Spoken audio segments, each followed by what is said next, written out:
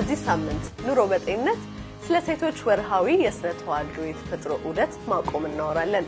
ናይጄሪያዊው የማህፀን ሐኪም ለሁሉም ሴቶች ህይወት ለዋጭ ስለሆነው የተፈጥሮ የወርሃዊ ዑደት ማቆም የሚሉን አለ። የሴቶች ወርሃዊ የተፈጥሮ ዑደት ማቆምን ሰዎች በምን መልኩ ይቀበሉታል የሚለውንም አካተናል። በሌላ የጤና ዘገባ ባናቱ በተሰኘችው የፓሲፊክ ደሴት ላይ ኮሮና ቫይረስ እስካሁን ድረስ ሳይደርስ መቆየቱንም ሰምተናል። እንዴት የሚለውን እንቃኛለን። ሌሎች ጤና ተኮር ዘገባዎችንም አካተናል። አብራችሁን ቆዩ።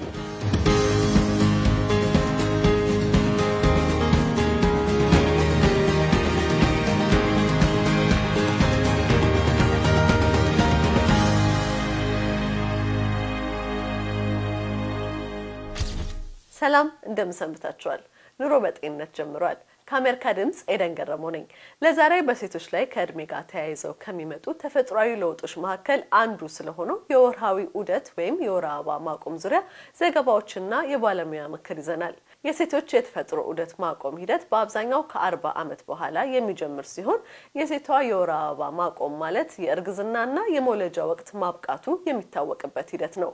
የሴቷ የወር አበባ ሙሉ ለሙሉ እስኪያቆም ድረስም ጊዜ የሚወስድ ሲሆን በአጠቃላይ ሂደቱ አስር ዓመት ሊፈጅ ይችላል። በእነዚህ ጊዜያት ውስጥም ሴቷ በብዙ አካላዊና ስሜታዊ ለውጦች ውስጥ የምታልፍ ሲሆን የሰውነት በድንገትና ከፍተኛ በሆነ ሙቀት ውስጥ ማለፍ፣ የስሜት መለዋወጥ፣ እንቅልፍ ማጣትና ቁጡነት ዋነኞቹ ናቸው። አንዲት ሴት ለ12 ወራት ያህል ምንም አይነት የወር አበባ ካላየች ሙሉ ለሙሉ የወርሃዊ የስነ ተዋልዶ ዑደቷ አቁሟል እንደሚባል ባለሙያዎች ይናገራሉ። በዚህ ዙሪያ የአሜሪካ ድምጿ አሊሰን ሊኮንጎ ፈርናንዴዝ ከሴኔጋል ተከታዩን ልካልናለች። በሴኔጋል የሴቶች ወርሃዊ የስነ ተዋልዶ ዑደት ወይም የወር አበባ ማቆም ለሰዎች የሚያወሩት ነገር አይደለም። ከዚህ ጉዳይ ጋር በተያያዘ ለሚፈጠሩ ምልክቶች የሐኪሞች ምክር ፈልገው ወደ ጤና ጣቢያ የሚመጡ ሴቶች ቁጥርም እጅግ አነስተኛ ነው። የማህፀን ሐኪም የሆኑት ፕሮፌሰር አብዱል አዚዝ ከሴቶች ወርሃዊ ስነ ተዋልዶ ዑደት መቋረጥ ጋር በተያያዘ እንደ አውሮፓውያን አቆጣጠር በ2008 ዓ ም የመመረቂያ ጥናታቸውን ሰርተዋል። የሴቶች ወርሃዊ የስነ ተዋልዶ ዑደትን መቆም ማህበረሰባዊ የሆነ የስነ ልቦና ትርጓሜ አለው። ሴቶች የወር አበባ መቋረጥን ከዚህ በኋላ ልጅ መውለድ ካለመቻልና በቤተሰብ ውስጥ ያላቸው ሚና ከመለወጡ ጋር ያያይዙታል። በእነዚህ ወቅቶች ራስ ምታት፣ የመገጣጠሚያ ህመም፣ የእንቅልፍ ማጣት፣ የጸጉር መርገፍ፣ የማህፀን መድረቅ የመሳሰሉት ምልክቶች ቢኖሩም ከሰው ሰው ይለያያሉ። ይሁንና ወርሃዊ የስነ ተዋልዶ ዑደቱ ሙሉ ለሙሉ ከመቆሙ በፊትም የተለያዩ ምልክቶች ይመጣሉ። ማደሊን ሳር አዋላጅ ስትሆን 53 ዓመቷ ነው። የሽግግሩ ጊዜ ከባድ ወቅት ማለት ነው። መቆጣት አለ። ሰውነት በምን አይነት መልኩ እየሰራ እንደሆነ ማወቅ አትችልም። በቃ በሽታ መሆኑን ለራስ መንገርና በሴት ልጅ ህይወት ላይ ትልቅ ለውጥ የሚያመጣ መሆኑን በማሰብ ለራሳችን መንገር ይኖርብናል። ማደሊን ከተማረችው ትምህርት ይልቅ ያሳለፈችው ነገር ስለ ሴቶች ስነ ተዋልዶ ዑደት ማቆም ሂደት ብዙ ነገር እንድትረዳ አድርጓታል። 55 ከመቶ የሚሆነው የሴኔጋል ህዝብ 20 በመቶ ለእናቶችና ህጻናት የሚደረጉ የተለያዩ እንክብካቤዎችን ይማራሉ። በጠቅላላ በሀገሪቱ የሴቶች የወርሃዊ የስነ ተዋልዶ ዑደት ማቆምን በተመለከተ ግን ፍጹም አይወራም። የሴቶች ወርሃዊ ዑደት ማቆም ጋር በተያያዘ ሴቶች በበቂ ሁኔታ መረጃው አልደረሳቸውም። ብዙ ሴቶችም ምን እንደሆነ እንኳን አያውቁም። ነገር ግን ይህ ሁኔታ ሲያጋጥም ምን አይነት ነገሮችና ለውጦች እንደሚፈጠሩ ማስረዳት ያስፈልጋል። የወርሃዊ የስነ ተዋልዶ ዑደት መቋረጥ ከሚያመጣቸው አካላዊ ለውጦች ውጪ በሴቶች እጅግ በመፈራቱ የስነ ልቦና ድጋፍ ያስፈልጋል። በዚህ የተነሳ ማደሊን በጥንቃቄ በማዳመጥ የስነ ልቦና ድጋፍ ትሰጣለች። በሴኔጋል የሴቶች ዑደት መቋረጫ ዕድሜው ከነጮች ጋር ሲወዳደር እጅግ አነስተኛ ነው። አብዛኞቹ ነጮች በ50ና 51 ዓመታቸው ነው ወደ ዑደቱ የሚገቡት። ነገር ግን በሌላ በኩል ሴቶች በሙሉ በዚህ የተነሳ ችግር ያጋጥማቸዋል። ከሁሉም የሚረብሻቸው ደግሞ ድንገተኛ የሆነ ሙቀቱ ሳይሆን በሌሊት በላብ መጠመቁ ነበረ። እሱም ካልሆነ ግን ሌሎች ነገሮች አሉ። ልጅ መውለድ አለመቻል ታዲያ የኑሮ ቀውስንም ያስከትላል። ይሁን እንጂ በአንጻሩ አንዳንድ ሴቶች ይሄ ሂደት ነፃ የመሆን ሂደት ነው ይላሉ። እናመሰግናለን። ኑሮ በጤንነት ይቀጥላል። የሴቶች ወርሃዊ የስነ ተዋልዶ ዑደት የማቆም ሂደት ያለውን ተሞክሮ ከሰው ሰው ይለያያል። አንዳንዶች ምንም አይነት ምልክት የማይታይባቸው ሲሆን፣ ሌሎች ደግሞ በብዙ ለውጦች ውስጥ ያልፋሉ። በዚህ ወቅት ምን መደረግ አለበት ስትል የአሜሪካ ድምጿ ሌናርድ ማዱ በሌጎስ ናይጄሪያ የጽንስና የማህፀን ሐኪም የሆኑትን ዶክተር ኦሞሎሎ ኦሽኒዎን አነጋግራለች። uh,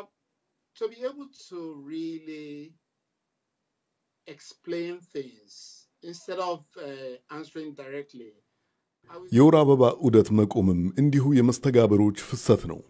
ነገሮች እየቀነሱ ሄዱና በስተመጨረሻ የወር አበባ ሲቆም የወር አበባ ዑደት ተቋረጠ እንላለን። ለመጨረሻ ጊዜ የወር አበባ ከመቋረጡ በፊት የሚከሰቱ ነገሮች አሉ። ይህ ሂደት ቅድመ የወር አበባ መቋረጥ ይባላል። ይሄ የሚፈጠረው የኢስትሮጅን መመናመን ቁርጥ እየሆነ ሲመጣ ነው። በአንዲት ሴት ጭንቅላት ውስጥ ሙቀትን የሚቆጣጠር ክፍል አለ። ኢስትሮጂን ሙቀትን ጠብቆ ለማቆየት የሚረዳ እጢ ነው። የኢስትሮጂን እጥረት በሚኖር ጊዜ ሁሉም ነገር ይዛባል። ለዚያ ነው ሰዎች ሙቀትን ማስተናገዳቸው። በዚህም ሰዓት ስራ የሚበዛበት አንጎል ስለሆነ በርካታ ሴቶች ጥሩ እንቅልፍ ማግኘት አይችሉም። በጣም ነጭናጭ ይሆናሉ። ባላቸው ላይ ይጮኻሉ። የእጢያቸው ስራ ወይንም ሆርሞናቸው ስለሚዛባ አንዳንዴ እንደ ሕፃን ያለቅሳሉ። ብዙ ሴቶች ምን እየተካሄደ እንዳለ አያውቁም። የዚህ ምክንያቱ ደግሞ የስሜት ለውጡ ድንገተኛ ሳይሆን ቀስ በቀስ የሚመጣ መሆኑ ነው። እዚህ ደረጃ ላይ መድረስሽ የሚሰማሽ ከሆነ ሰዎች የማይወዱትን አማራጭ መጠቀም ግድ ይሆናል። እሱም የሆርሞን ወይንም እጢ ቅየራ ማድረግ ነው። ይህንን ጥያቄ የምመለከተው እንዴት መሰለሽ? እንደ ማኅፀንና ጽንስ ሐኪም በርካታ ሰዎችን ለማሳመን ችግር ይገጥመኛል። ካሳመንኳቸው ሴቶች ግማሹ ያልኳቸውን ወስደው ውጤት ያመጣሉ።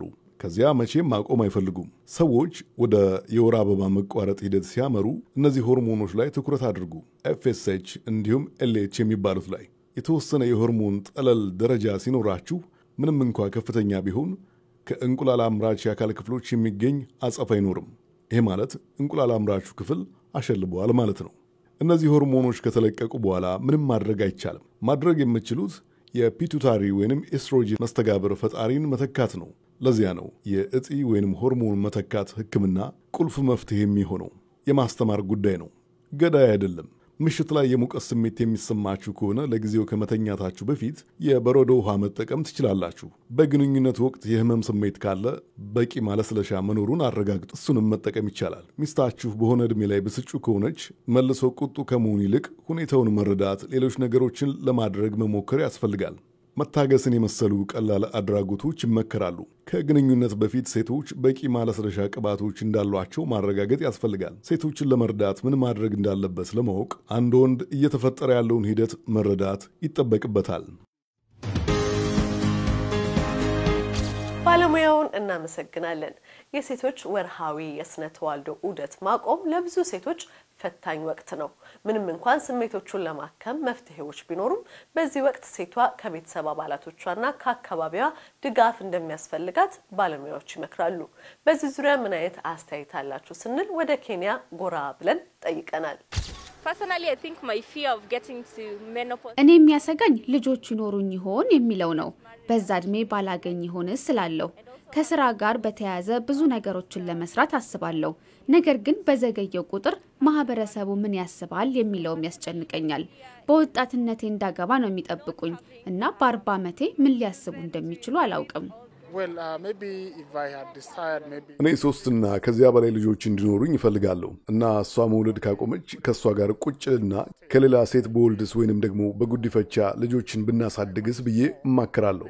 እንደሚመስለኝ ልጅ በጣም ስለምወድ በጉዲፈቻ አሳድጋለሁ። አሁን ደግሞ ከኮቪድ-19 ጋር ወደ ተያያዘ ዘገባ እናልፋለን።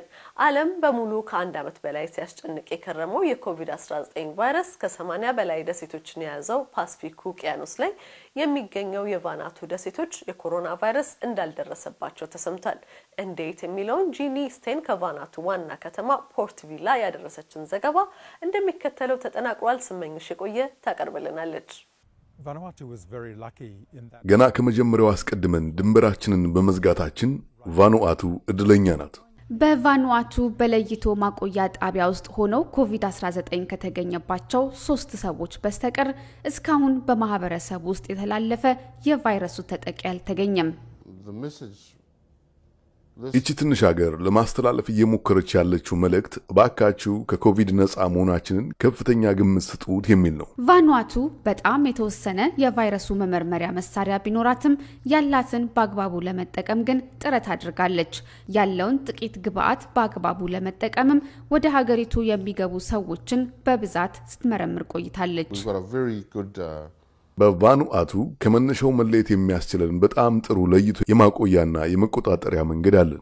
ምድረገነት የሚመስለው ደሴት ከኮቪድ ነፃ ቢሆንም በወረርሽኙ ግን ጉዳት አልደረሰበትም ማለት አይደለም።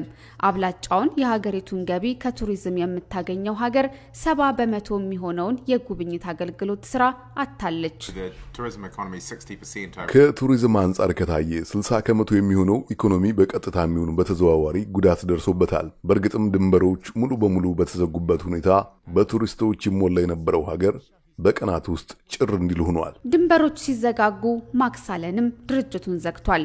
አሁን ሌላ አስጎብኚ ድርጅት ንብረቱን እንዲሸጥ እያገዘ ይገኛል። አሁን መኪናዎችን እየሸጥን ነው። ነገር ግን መኪናዎቹ እያለቁ ነው። የምንጠብቀው ብቸኛ መፍትሄ ክትባቱ ነው። ክትባቱን ማግኘት የመንግስት ትልቁ ችግር ነው። ክሬግ እንደሚለው ከሰማኒያ በላይ በሚሆኑ ደሴቶች ውስጥ ክትባቱን ማሰራጨት በጣም ውስብስብ ስራ ነው። ምናልባት ክትባቱን ካገኘን ያደጉ ሀገራት በአቅርቦት ካገዙን፣ ዶክተሮችና ነርሶች ደግሞ በማከፋፈል ከተባበሩን ማሳካት እንችላለን። ያንን እርዳታ ካላገኘን ግን በጣም ዝቅተኛ የጤና ስርዓት ላለው ታዳጊ ሀገር በጣም አስቸጋሪ ነው የሚሆነው። ቫኑአቱ ከኮቪድ ነፃ ሆና ህይወት ቀጥሏል። ሆኖም ጎብኚዎች ባለመኖራቸው ስራ ያጡ በሺዎች የሚቆጠሩ ሰዎች በእርሻ ስራ ላይ ለመሰማራት ወደ ጎረቤት ሀገሮች አውስትራሊያና ኒውዚላንድ ለመሄድ እየሞከሩ ነው። የ23 ዓመቱን ኤሊሺያ ሎሊን ጨምሮ አሁን በጣም አስቸጋሪ ጊዜ በመሆኑ ወደ አውስትራሊያ መሄድ እፈልጋለሁ። በኮቪድ ምክንያት ቫኑአቱ ዝግ ሆኗል። ቤተሰብን ለመርዳት ሄጄ ስራ ሰርቼ ገንዘብ ማግኘት አለብኝ። ቫኑአቱ ኢኮኖሚዋን ለማዳን ዜጎቿ መከተብ አለባቸው። ወደ ሀገሪቱ የሚመጡ እንግዶቿም እንዲሁ። ሆኖም እስካሁን ምንም አይነት ክትባት ወደ ቫኑአቱ አልደረሰም። የሀገሪቱ መንግስት ግን በመጪው ሰኔ ክትባት መሰራጨት ይጀምራል ብሎ ተስፋ ያደርጋል። አሁን ደግሞ ለየት ወዳለ ዘገባ እንለፍ። ምንም እንኳን ሴኔጋል ውስጥ ፕላስቲክ ቆሻሻዎች ለጤና ጠንቅ ናቸው በማለት በሀገሪቱ መጠቀም ቢከለከልም ሕጉ ግን በአግባቡ ተፈጻሚ ባለመሆኑ የሴኔጋል የባህር ዳርቻዎች የማህበረሰብ የጤና ስጋት እየሆኑ እንደመጡ ተሰምቷል። ባለፈው ወር ታስቦ ለዋለው የዓለም የመሬት ቀን የሴኔጋል የባህር ላይ ቀዛፊዎች የተሻላቸውን በማድረግ ተንቀሳቅሰው ነበር። ከቀዛፊዎቹ ቡድን ጋር አኒካ ሀምሽላግ የነበራት ቆይታ እንደሚከተለው ተጠናቅሯል። ሰዎችና እንስሳት ህይወታቸውን የሚመሩባቸው የሴኔጋል የውሃ ዳርቻዎች የውሃ ኮዳ፣ ፌስታል፣ የአሳ ማጥመጃ ወንፊቶች ተከምረው ይታይባቸዋል። ከፕላስቲኮቹ ላይ የሚወጡት መራዥ ኬሚካሎችም የሴኔጋል መሰረታዊ ምግብ በሆነው በአሳ ሀብቱ ላይ ሰፊ የሆነ ተጽዕኖ ያሳድራሉ። የሴኔጋል የማህበረሰብ ጤና ሚኒስቴርም የባህሩ መበከል በማህበረሰቡ ላይ የመካንነት፣ የልብ በሽታ፣ የካንሰርና ሌሎች የጤና ችግሮችን ደቅኗል ይላሉ። euh, ፋብሪካ ውስጥ የሚመረቱ ሁሉም ነገሮች አደገኛ ሊሆኑ ይችላሉ። በብክለት መጠን ከወሰድ ነው ልክ እኛን እንደሚጎዱን ሁሉ የእንስሳቱንም አካላት ይጎዳሉ። በተለይ ደግሞ የተሰሩትን ዘገባዎችና ጥናቶች ካያችሁ የባህር ላይ ህይወትን እጅግ ይጎዳሉ። እንደ አውሮፓውያን አቆጣጠር በ2015 የሴኔጋል መንግስት ከፕላስቲክ የሚሰሩ መገልገያ እቃዎች ላይ ህግ ቢያወጣም እስካሁን ድረስ ግን እምብዛም የታየ ለውጥ የለም። እንደ አውሮፓውያን አቆጣጠር በ2020 በፕላስቲክ ኩባያዎች፣ ፌስታሎች፣ የውሃ መምጠጫዎችና ኮዳዎች ላይ ህጉ ትኩረት ቢያደርግም ማስፈጸሙ ላይ ግን አሁንም ድረስ እጅግ አልገፋም። ተጠቃሚው ህዝብ በህጉ ዙሪያና ባለው ነገር ላይ በቂ የሆነ መረጃ የለውም። ያለፈውን አመት የጸደቀውን ህግ ለማሰብና የዚህኛውን አመት የዓለም የመሬት ቀን ለመዘከር በዳካር የባራኩዳ የቀዛፊዎች ክለብ የባህሩን ዳርቻ ለማጽዳት ተንቀሳቅሰው ነበር። የክሊን ሴኔጋል አባል የሆነው ከሃዲም ዲዩፍ ፕላስቲኮችን በማስወገድ ላይ አጽንኦት ለመስጠት የፕላስቲክ ልብስ ለብሶ ነበር ሲያጸዳ የቆየው።. እኛ የዓለም ህዝቦች ይህንን ማድረግ እንችላለን ብዬ አስባለሁ። የሴኔጋል ዜጎችን ብቻ አይደለም የምለው፣ ሁሉም ሰው አካባቢውን መጠበቅ መቻል አለበት። ይህንን ነው ማድረግ ያለብን። ተመልካቾቻችን በአሜሪካ ድምፅ ተዘጋጅቶ በአሃዱ ሬዲዮና ቴሌቪዥን ላይ የሚቀርብላችሁ ሳምንታዊ የኑሮ በጤንነት መርሃ ግብር ተጠናቀቀ። በዝግጅቶቻችን ላይ የሚኖሯችሁን አስተያየቶች በፌስቡክ ገጻችን ቪኦኤ ላይ ለኑሮ በጤንነት እያላችሁ አድርሱን። ኤደን ገረመው ከአሜሪካ ድምጽ ስቱዲዮ ባለሙያዎች ጋር በመሆን አብሬያችሁ ቆይቻለሁ። ሳምንት እንገናኝ። ሰላም ሁኑ።